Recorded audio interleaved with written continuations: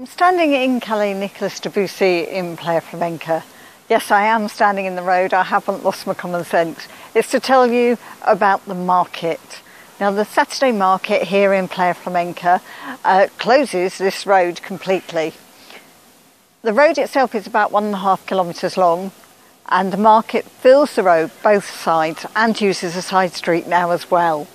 You can buy absolutely everything here. There's an amazing choice of fruit and vegetables, but there's also clothes, music, cosmetics. You can buy gifts, souvenirs, um, you name it, it's here. So always a good range of products available. The market starts very early in the morning and continues on oh another car and continues until about two o'clock in the afternoon after which the street is cleaned take a look around